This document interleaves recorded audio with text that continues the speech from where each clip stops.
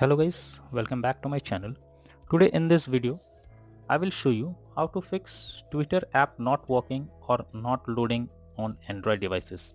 So if you are also facing the issue while launching the twitter app then follow the methods to fix the issue.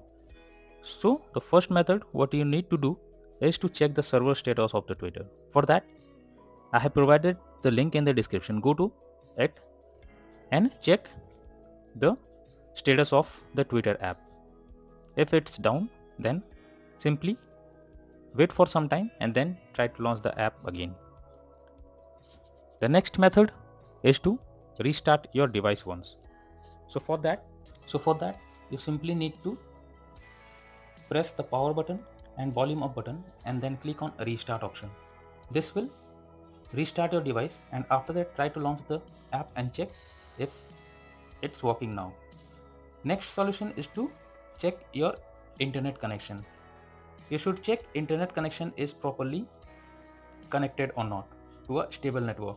If you're using mobile data then make sure it's connected properly or if you are using Wi-Fi then try to restart your router or run a speed test and you can also switch from Wi-Fi to mobile data or do vice versa according to your use.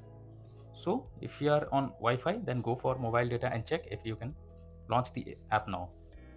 The next next method is to close and reopen the app. So if you are accessing the app before and simply close it and then try to launch the game and check if this solution works for you. The next solution suggested is to force stop Twitter app. For that, you simply click on the Twitter icon over here and then click on info icon I. And from here, you simply need to click on force stop and after that click on OK. This will force stop the app and then try to launch the app and check if this solution works. If not, the next solution suggested is to clear cache and data of the app. So simply click on the X or Twitter icon over here. Go to the info section. Here click on storage and cache and then click on clear cache option. After doing this, now try to launch the app and check if it's working. If not, the next solution suggested is to update Twitter app. So what you have to do is simply go to the Google Play Store. In the search bar, type Twitter and then check if any update is available here if any update is there simply click on update and after your app is updated now try to launch the app and check if it's working. The next solution suggested is to log out and log back in again.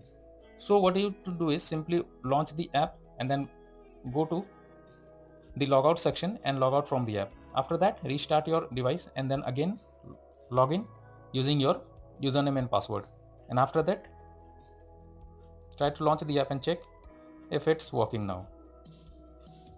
If not, the final solution suggested is to contact Twitter support. So if you are getting the same issue continuously, uh, even after following the method suggested, then it's time to take help from the support team. So I have provided the link in the description from where you can easily contact the support team and take help from them and fix the issue. So that's all for now in this video. Thank you.